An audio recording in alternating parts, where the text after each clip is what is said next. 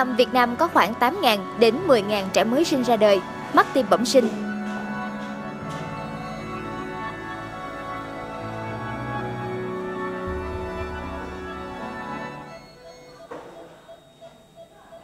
Gánh nặng bệnh tật này không chỉ khiến thể lực của hàng ngàn trẻ nhỏ suy yếu, mà còn là áp lực tâm lý, tinh thần cho cha mẹ, cho sự phát triển của một thế hệ.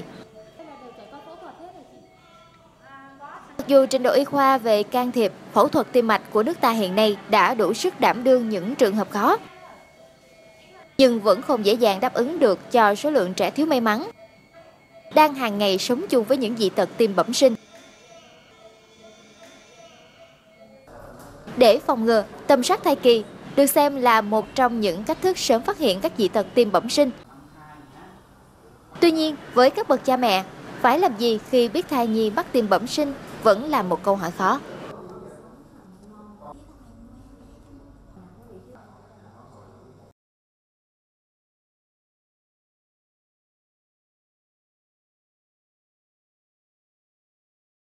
Ngày 20 tháng 2 vừa qua, 40 y bác sĩ của hai bệnh viện Từ Dũ và Nhi đồng 2 thành phố Hồ Chí Minh đã hợp lực để cứu sống hai bệnh nhân đặc biệt. Đó là trường hợp người mẹ 28 tuổi mang trong mình thai nhi mắc tim bẩm sinh, được xác định là trường hợp tim bẩm sinh khá nặng.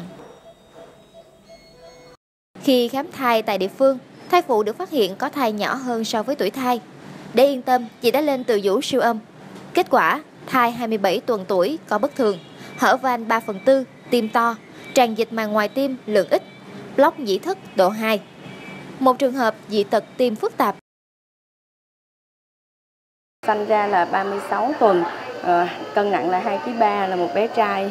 Ờ, trước sanh thì mẹ đã ờ, em bé đã được siêu âm chẩn đoán tiền sản là phát hiện ra block AV độ 3. Đây là một cái bệnh tim nói chung là cũng khá là nặng nếu như mà em bé không có được đặt máy tạo nhịp á, thì không có thể không có sống được kéo dài được. Ngay khi người mẹ chuyển già, tại bệnh viện Từ Dũ, các bác sĩ đã báo thông tin với Nhi đồng 2 để chuẩn bị đầy đủ ekip từ phẫu thuật đến hồi sức.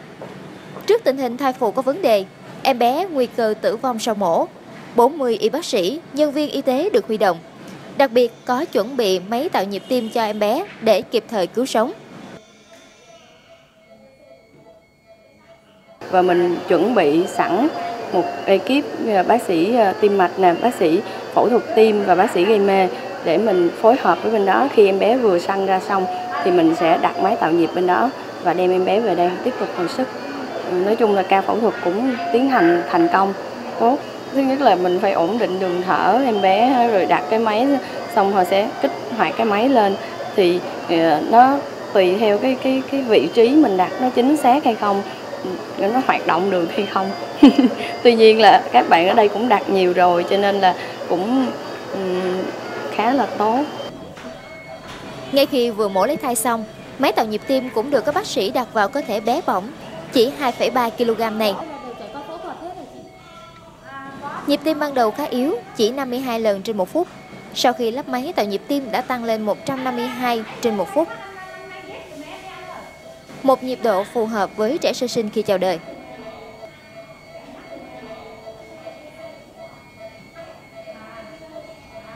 Bây giờ em thấy nó rất là dễ thương, ăn sữa được rồi, tình trạng nhiễm trùng thì thấy cũng ổn, thấy cũng không đến nỗi nào. À, tốt nhất là cai máy thở được rồi, bây giờ thở khí trời rất là là hy vọng là sẽ ok.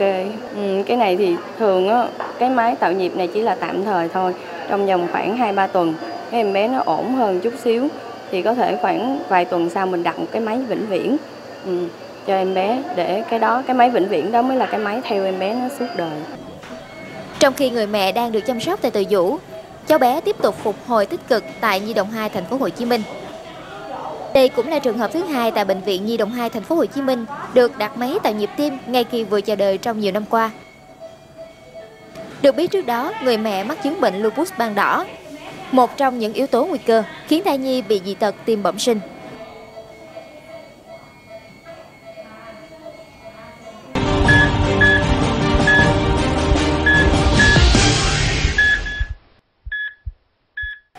Và các bạn, có lẽ người mẹ bây giờ là người hạnh phúc nhất khi đứa con của mình đã vượt qua được căn bệnh tim bẩm sinh và có thể nói là mẹ của một đứa trẻ mắc bệnh tim bẩm sinh quả thật không phải là dễ dàng.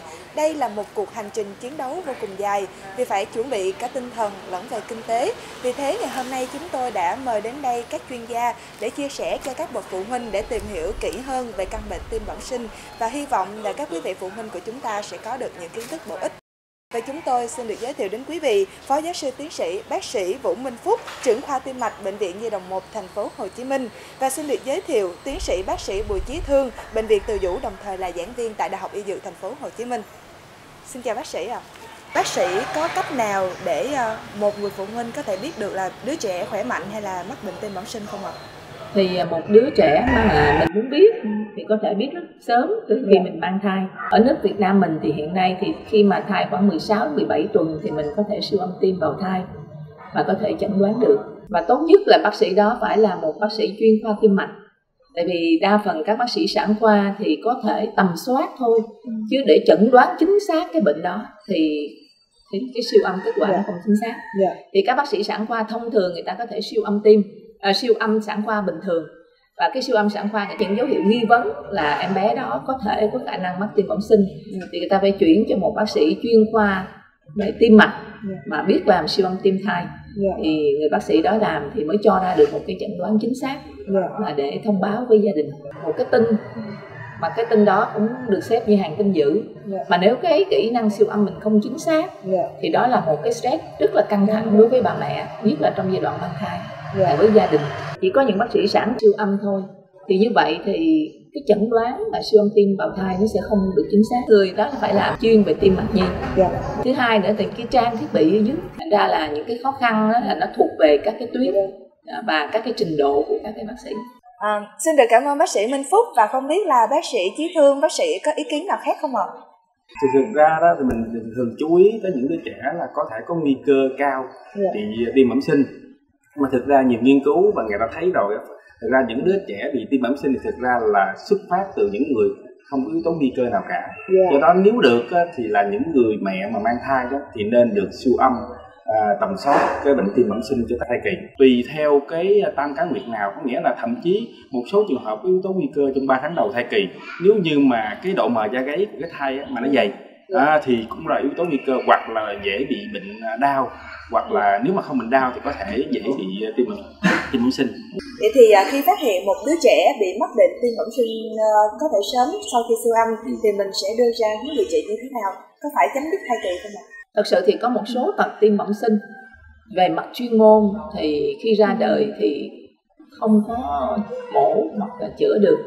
Hoặc khó khăn và rất tốn kém mà đứa bé thì cũng không trở về một cái trạng thái có một cái trái tim bình thường yeah. Dạ. mà chỉ có một cái trái tim được sửa chữa trong một thời gian mm.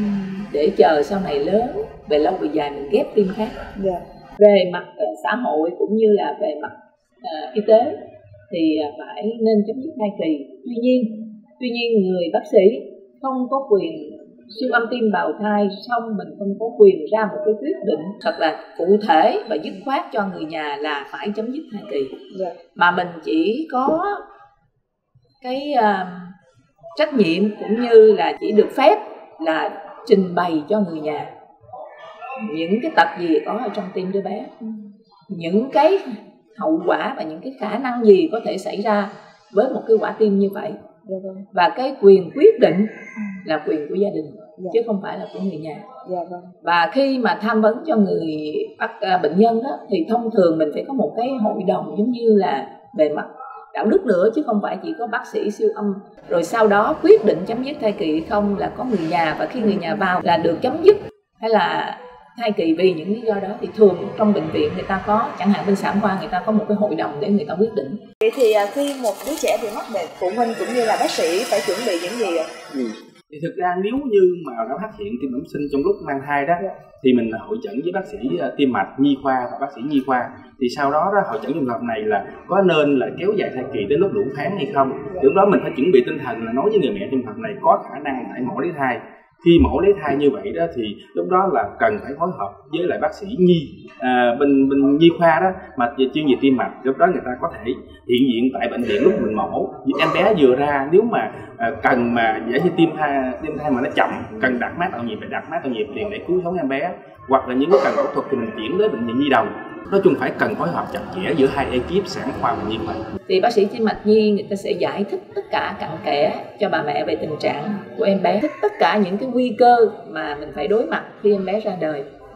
Đồng thời người ta phát thảo ra một cái phát đồ. Sau đó thì bà mẹ phải cầm cái phát đồ đó à, liên hệ với lại bác sĩ sản khoa. Sản khoa và bên nhi khoa mình có sự kết nối rất là chặt chẽ với nhau. Thì lúc đó mình sẽ thông báo cho các bác sĩ sản khoa mà phụ trách là bà mẹ đó những em bé nó phải được làm ngay đồng hồ xanh trang thiết bị gì để em bé lọt lòng ra là phải hồi sức ngay yeah. nếu nếu cái tật đó là những tật rất phức tạp yeah. và cần phải hồi sức ngay sau sinh yeah. còn nếu nó là những tật bẩm sinh đơn giản, thì mình chỉ tham vấn cho bà mẹ, rồi dặn bà mẹ là sau khi sinh em bé xong à, đem lại bác sĩ nhi để kiểm tra sức khỏe và để tiếp tục một cái phát đồ điều trị thì đọc đặt ngược lại vấn đề một chút thì à, không biết người mẹ có yếu tố ảnh hưởng nào gây nên bệnh lý tim bẩm sinh cho trẻ không ạ? Có những nguyên nhân mình không có tìm thấy được và có những nguyên nhân mà hiện nay người ta đã xác định được. Thì những nguyên nhân mà xác định được ví dụ như là mẹ có um, bệnh trong lúc mang thai, đặc biệt là 3 tháng đầu của thai kỳ. Những bệnh đó là những bệnh gì? Cái bệnh siêu vi đặc biệt ví dụ như sởi, bị, rubella là mình biết trước hoặc là trong cái 3 tháng đầu của thai kỳ thì bà mẹ có sử dụng những cái thuốc đặc biệt đặc biệt là những thuốc thuộc nhóm an thần chống động kinh. Không thể di giật khi tim đâu có thể dị tật ở những cơ quan khác nữa. Hoặc là trong 3 tháng đầu của thai kỳ bà mẹ mắc một cái bệnh mãn tính gì đó sử dụng thuốc.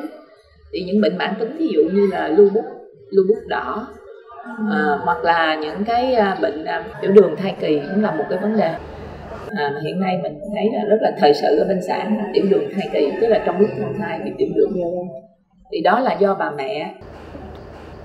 Do những cái yếu tố bà mẹ sử dụng những cái uống rượu thuốc những cái hóa chất độc hại bà mẹ tiếp xúc với hóa chất đó thì có thể dẫn tới thai bị dị tật thì có thể dị tật nhiều nơi nhưng mà trong đó thì có tiêu bẩm sinh thì à, cũng có những cái à, nguyên nhân khác do những cái à, bệnh lý về di truyền ví dụ trong dòng họ, nó mang một cái tật di truyền cái bệnh tim bẩm sinh đó từ đời này qua đời khác. Yếu số tiền sử của gia đình. Dạ. Yeah. Thực ra thì à, phòng ngừa tim bẩm sinh đó thì vì à, nếu mà dễ bị tim bẩm sinh của cái thai kỳ thì có thể có một số yếu tố nguy cơ. Nếu như người mẹ nó mà sử dụng cái thuốc à, chống động kinh à, hoặc là người mẹ uống rượu nhiều thì cũng có thể đó là những yếu tố nguy cơ. Hoặc là có thể nhiễm cái hóa chất nào mình không có biết được cho đó là thực ra thì ăn những thức ăn à, lành mạnh và thức ăn sạch thì đó là tốt hơn và có thể phòng ngừa những yếu tố nguy cơ như vậy. Thì mẹ có bị bệnh tim hay là chị em của cái thai này mà trước đó bị bệnh tim? Thì cũng có thể đó là yếu tố nguy cơ thì lúc đó mình nên tầm soát vào tuần lễ thứ 18 đến 20 của thai kỳ thì có thể mình siêu âm, sơ qua để xem coi cái tim có vấn đề gì không. Dạ vâng.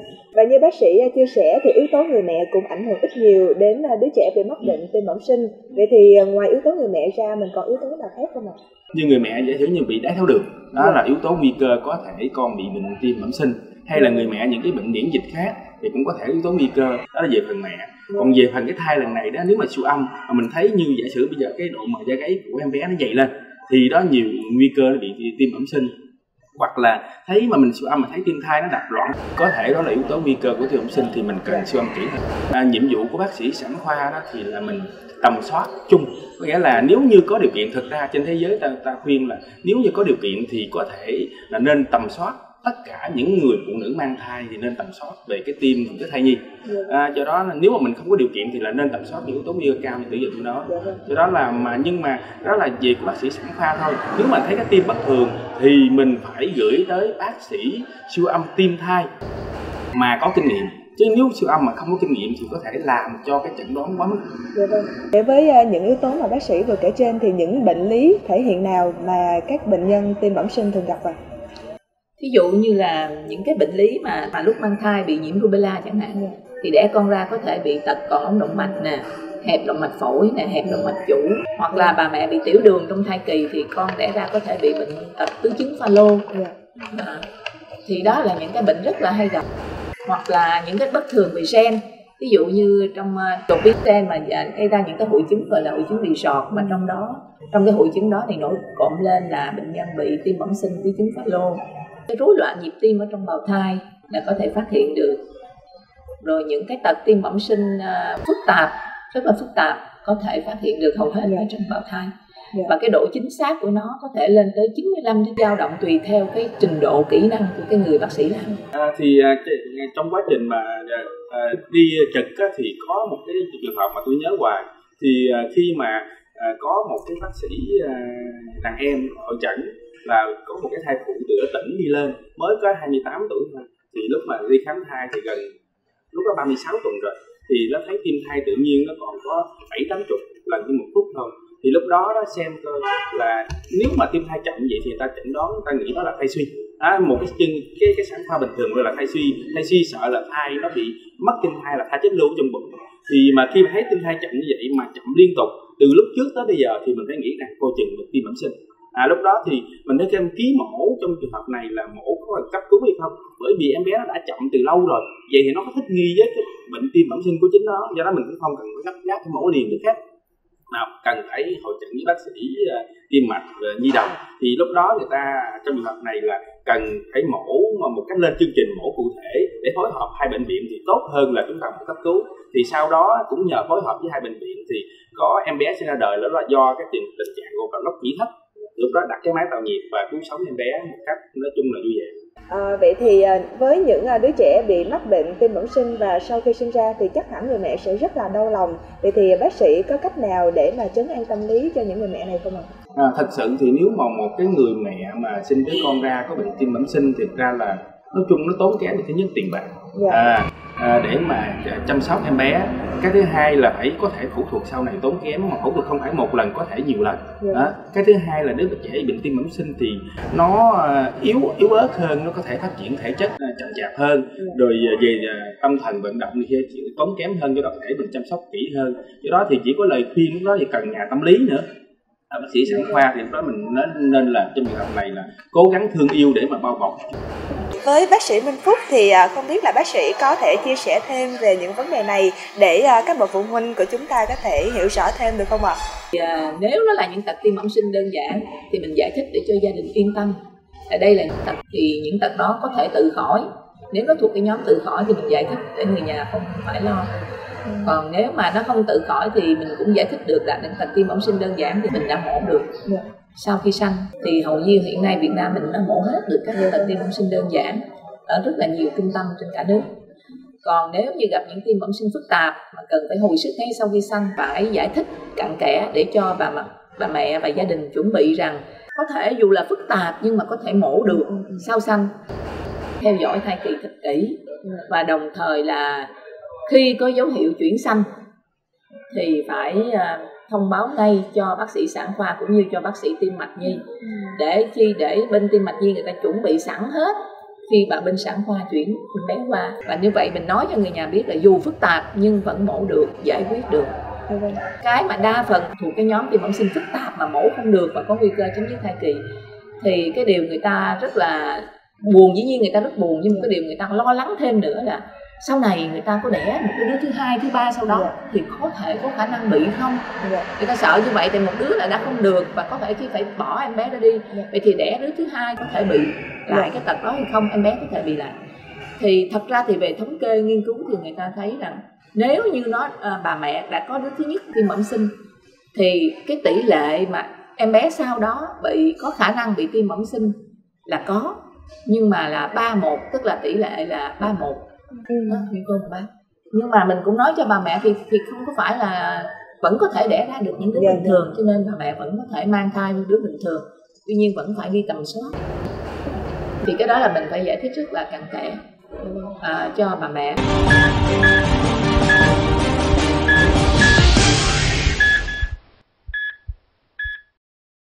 thì như bác sĩ cũng đã chia sẻ thì việc phẫu thuật rất là quan trọng, tuy nhiên việc hậu phẫu cũng như là chăm sóc sau phẫu thuật cũng quan trọng không kém. Vậy thì tỷ lệ thành công cho một ca phẫu thuật là bao nhiêu phần trăm ạ?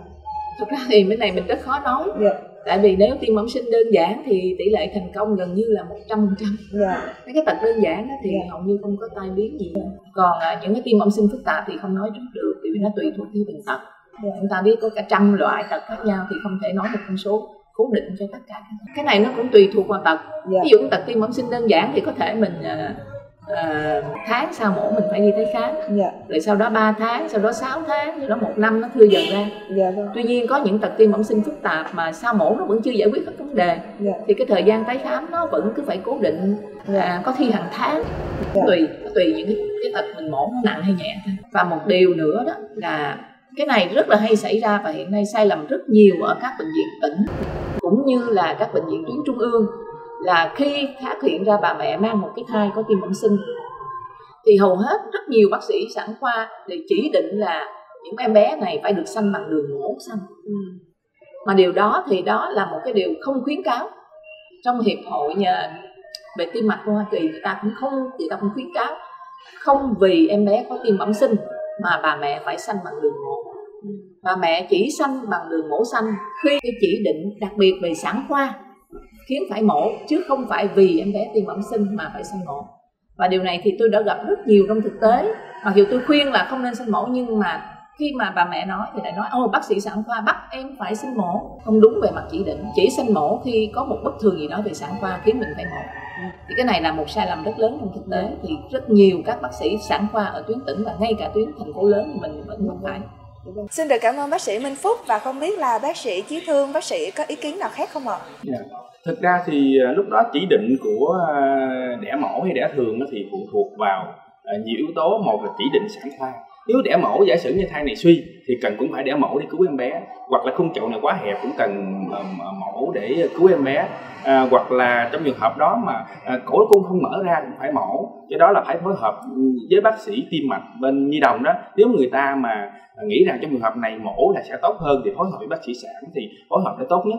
Chứ không phải là luôn luôn chúng ta phải mổ hoặc luôn luôn chúng ta phải sanh thường mà chúng ta nên hướng về cái sức khỏe của bệnh nhi và sức khỏe của người thai phụ là số 1 à, thậm chí người lớn mà mình buồn mình mình bệnh thì cũng buồn nữa chứ không phải là chỉ có đứa con mình bệnh. Thật ra đứa con mình mà chưa ra đời bệnh thì mình còn buồn hơn nữa. Thực ra ai cũng bị áp lực về tâm lý stress. Chứ đó là người bác sĩ sản khoa ngoài cái chuyên môn cần phải có tâm lý nghĩa về trị liệu về tâm lý. Và nếu như tâm lý nặng quá có thể mình mời một cái người mà chuyên về trị liệu tâm lý để để tư vấn thì là tốt hơn. À, tuy nhiên ngày nay cũng khá tốt là bác sĩ mà ở cái phòng mà chẩn đoán tiền sản đó thì người ta có được cái à, học về tâm lý người ta tự giáo dục người ta tự học về tâm lý thì cũng thể hỗ trợ cho bệnh nhân tốt hơn. Ở lúc đó cái điều quan trọng là bác sĩ sản khoa phải nhận biết rằng trong trường hợp này là à, cái thai nhi có nghi ngờ bị dị tật bẩm sinh tim hay không? Thứ nhất như tôi nói đó là nếu trong 3 tháng đầu mà thấy siêu âm mà cái độ mà da cái nó dày quá ờ, hoặc là trong trường hợp mà tim thai đập loạn xạ, chân không có đều lúc đó mình thấy nghi ngờ, hoặc là tiền căn của người mẹ có bệnh tim, hay anh em của đứa cái thai nhi nào trước đó có bệnh tim, thì nên chú ý là câu chuyện của bệnh tim. Thì một ở đó siêu âm được thì là siêu âm sơ qua, hoặc là gửi lên tuyến trên để mình siêu âm cụ thể hơn về tim mạch, thì lúc đó có có bác sĩ tim mạch tư vấn thì tốt hơn à, thì nếu như mình mình đừng có ngại chuyện đó nếu mà mình không đủ điều kiện có thể gửi lên thì người ta sẽ tầm soát tốt hơn chuyện Vậy thì bác sĩ à, nhận định như thế nào về kỹ thuật phẫu thuật tim bẩm sinh hiện nay ạ? À? Thật ra thì hiện nay thì cái khả năng mổ tim bẩm sinh ở Việt Nam mình cũng tiến một bước khá lớn, yeah. Dạ. khá dài. Có nghĩa là hiện nay thì chúng ta đã mổ được hầu tất cả các tật tim bẩm sinh đơn giản. Còn những tật tim bẩm sinh phức tạp thì hiện nay à, cả phía Bắc lẫn phía Nam lẫn cả miền Trung đều mổ được tất cả những dị tật tim bẩm sinh phức tạp có thể can thiệp kể cả trong thời kỳ sơ sinh. Cũng có những trung tâm mổ được tim bẩm sinh phức tạp nhưng mà nói chung là chúng ta đã mổ được gần hết. À, chỉ có một cái điều mà rất là lưu ý là ở Việt Nam hiện nay mình chưa có thể tiến được như nước ngoài. Đó là vấn đề vấn đề theo dõi những bệnh nhân đó xong phải tham vấn cho người nhà để người ta hiểu được cái tầm quan trọng của đi tái khám. Vì nhiều bệnh nhân sau khi được mổ, con mình xong thì không đi tái khám. Có những cái bệnh mà khi chúng ta mổ xong á, thì là chưa là hết. Có khi em bé phải theo dõi và sau này lớn lên có thể phải can thiệp hoặc là mổ lại lần hai, lần ba.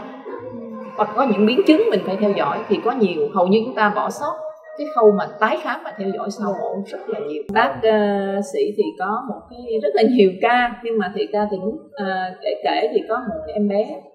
Em bé đó thì ba em bé đó là bộ đội uh, hải quân. Thì ở nhà thì mẹ bé mang thai sinh ra được chừng vài ngày tuổi thì em bé mệt sống ở một cái tỉnh xa thành phố. Thì khi mà siêu âm uh, sau khi sanh thấy mệt khó thở thì vào bệnh viện. Thì bệnh viện chỉ cái trình độ siêu âm của các bệnh viện tuyến tỉnh thì không phát hiện ra. Chỉ thấy là cái tim nó to vậy thôi suy tim rồi chuyển lên. Thì uh, khi em bé chuyển lên đó thì uh, trên này ở bệnh viện Nhi đồng 1 thì phát hiện ra em bé bị một cái tật uh, rất là nặng mà nó dẫn tới biến chứng suy tim rất là sớm trong thời kỳ sơ sinh. Đó là bất thường cái động mạch vành nó xuất phát từ động mạch phổi. Thì uh, những cái tật này thì phải nên mổ càng sớm càng tốt. Từ lúc bé bé vài ngày tuổi nhưng vấn đề là lúc đó đó nó có một cái tình huống là gì? Ba mẹ ba đứa bé thì đang đi uh, tàu cho nên là ba em bé không có thể về được. Yeah dạ. Cho nên một mình mẹ em bé mang bé vô bệnh viện ừ. thì mẹ nó rất là lo lắng. Ừ. tại vì lúc đó là đẻ rất là nhỏ ký. Ừ. thì ở thời điểm đó thì các bác sĩ bệnh viện vẫn quyết định là can thiệp cho em bé. À, và mổ rất sớm thì đó là cái ca đối với cái tật này đó thì cái em bé đó là cái ca mổ nhỏ tuổi nhất. Tại vì à, tật bất thường à, động mạch phổi bất thường động mạch vành xuất phát từ động mạch phổi thì à, thì thường nó bị vô bệnh viện trễ lắm. Nhưng mà em bé này nó lại vô bệnh viện rất sớm nó có vài ngày tuổi. Thì cái ca này là cái ca mổ nhỏ tuổi nhất đối với cái tật này. Thì sau khi mổ xong á thì à, em bé nó gần như là sau đó nó hồi phục gần như hoàn toàn. Hiện nay vẫn đi tái khám đều và rất là tốt. Trong khi những tật này nếu mà những cái bệnh nhân đến bệnh viện trễ quá đó, thì mổ thì nó vậy thôi thì cái tim nó không có nhỏ lại được và nó cũng vẫn tiếp tục à, là nó phải điều trị suy tim sau đó mà riêng em bé này thì siêu âm tim thì nó hoàn toàn nó về bình thường dạ. thì sau đó thì thì rất là, là mừng gia đình dạ. thì đúng là Xin được cảm ơn bác sĩ và hy vọng với buổi trò chuyện ngày hôm nay thì quý khán giả cũng như các bậc làm cha mẹ cũng đã có được những kinh nghiệm và kiến thức bổ ích. Xin chào và hẹn gặp lại.